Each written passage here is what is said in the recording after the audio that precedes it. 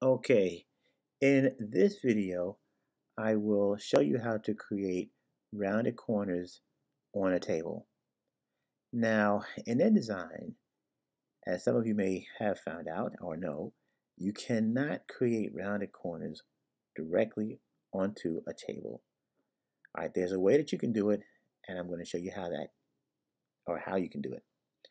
So what you want to do is, we're going to go over to the frame tool and we're going to create a frame that's large enough to contain the table. Then using the selection tool, we will click on the table. We're going to cut it, tap on the frame we just created, go up to edit, drop down to paste into. And now you can see the table is inside of this frame. While we have the frame selected, we're going to go up to Object, drop down to Fitting, and say Fit Frame to Content. So now you can see the frame collapses all the way around on all four sides to the actual shape of the table. Next up, and you don't have to do this, but I'm going to do this, I'm going to put a stroke around the frame that we created.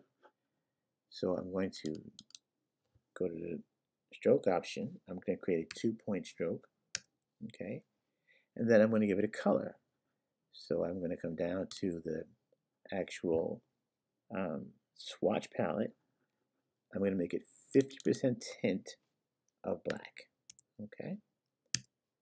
All right, now that I have that and I still have this frame selected, I'm going to go back up to Object, drop down to the corner option, and I'm going to say, let's make that a rounded corner and say OK. And now I'll preview this and we can zoom in and you can see it's perfect.